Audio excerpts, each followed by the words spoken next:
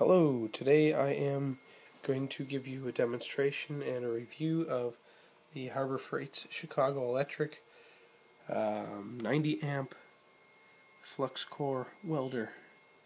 Item number 68887 um, I guess I should I already said it it's a 90 amp flux core welder. Um, it's cold tip. Um, this is the new version uh, there was a older version of this welder that had the blue cabinet, uh, but this one is in fact black, the newest one they have. Um, now the older version, the uh, gun tip was hot all the time, whether you had the trigger or not pressed. Um, this one, if you're not pressing the trigger, there's no power going to it. It's got two settings, a minimum and maximum. I have no idea what the minimum amperage would be. Um, I can't find any documentation stating that. Uh, the max amperage I'm guessing would be the 90 amp. Um, so far it's been a very decent welder. The welds are very strong. They're dirty. Of course it's a flux core welder. But they are strong. Um, now it says 20 amp circuit.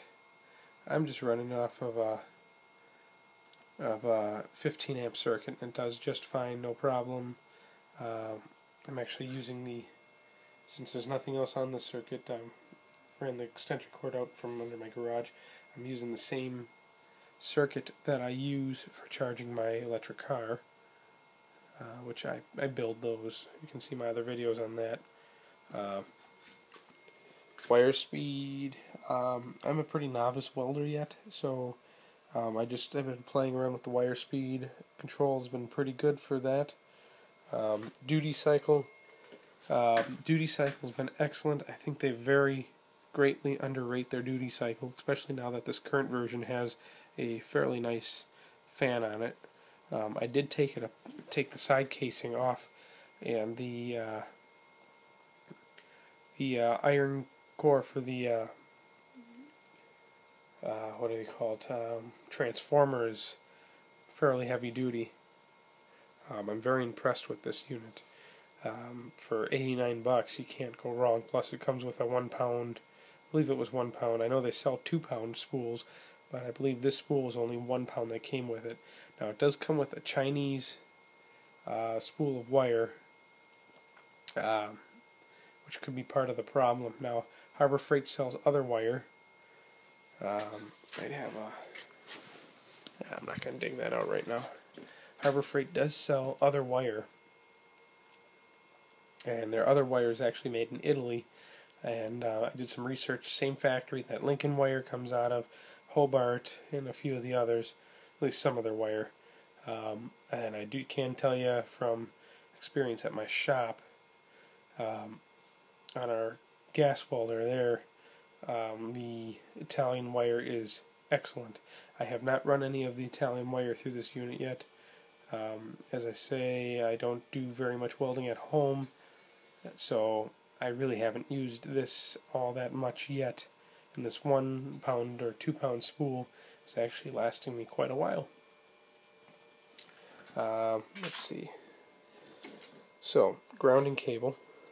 Let me turn on my light here. Grounding cable. It's fairly strong clamp. Uh, nothing special. Um, if once, if and when I break this clamp, I will be re replacing it with a a copper clamp and a little a little more uh, beefy, I guess I'll say. Um, I'm not sure exactly what gauge wire this is, as um, it does not say. Uh, 10 millimeters squared is about it. I'm not sure exactly how they rate it like that. Um, have to do some research. I might put a thicker cable on there if I still end up using this. Um, I'm going to have to guess it's about an 8 AWG um, what cable. Uh, not too bad. Toss it down there. Uh, welding gun. Uh, the actual whip is fairly flexible. Pretty happy with that. Uh, gun, comfortable, focus, damn it. Uh, trigger works fairly nice. Haven't had any any problems with the wire feed. Um, a lot of people say that um, have been saying that the wire feed breaks easily. Um, I think that was pertaining more towards the uh, the uh, old style unit. Gotta snip the end off of that. Tips are easily replaceable, and it seems like Harbor Freight has them in stock. Give a little look there. Yes, that is an asbestos lining. Same thing that uh, the Chinese use on their scooters and motorcycles. Like I said, it is a cold tip, so there is no power going to the wire until you pull that trigger. And I gotta take these stupid warning tags off. Uh, excuse the uh, mess here. My garage is a little full at the moment. I'm rebuilding this lovely Corvette that I bought for 14 bucks. now they say this will not fit a one of the Harbor Freight 10 pound spools of wire. I buy them anyways because they're cheap. Oh yeah, that is a one pound spool that comes with it.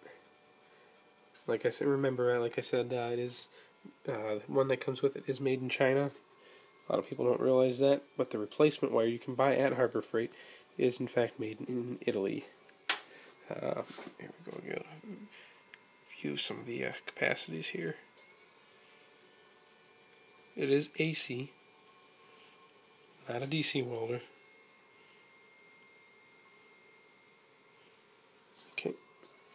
Uh, came with a spare tip.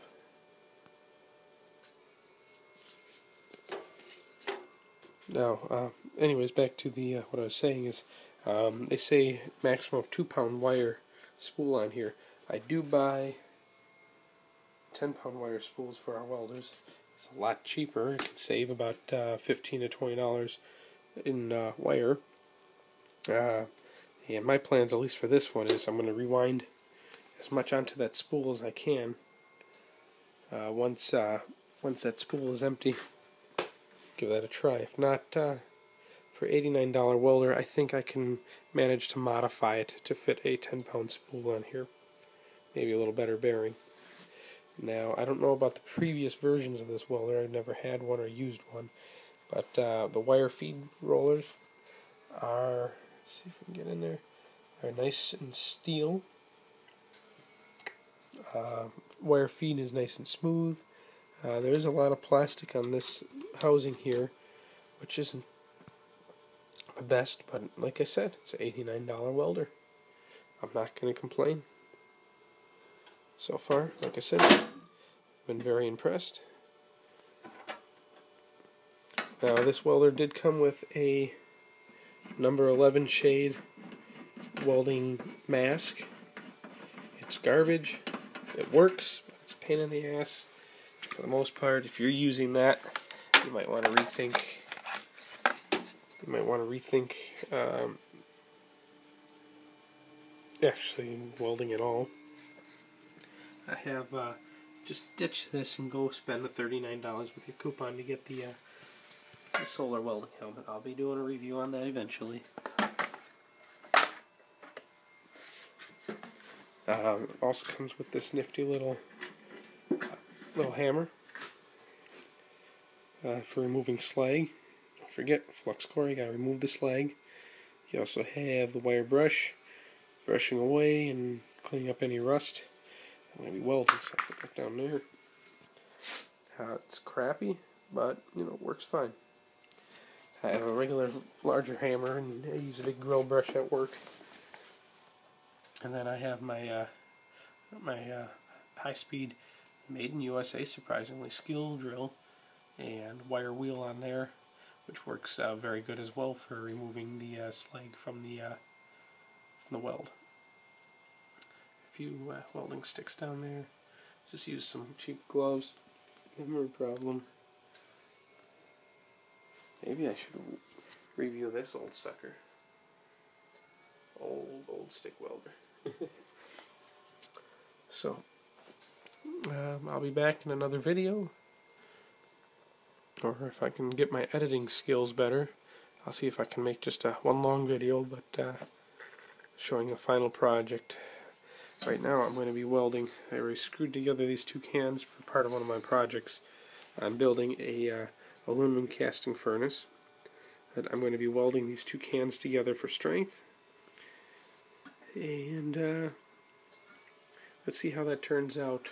Please don't uh, crucify me for my project as a, like I keep saying, I am a build beginner welder. Personally, I don't care what it looks like as long as it holds. I'm not doing pretty stuff. I'm building crazy ass projects in my garage. Alright, see you next video.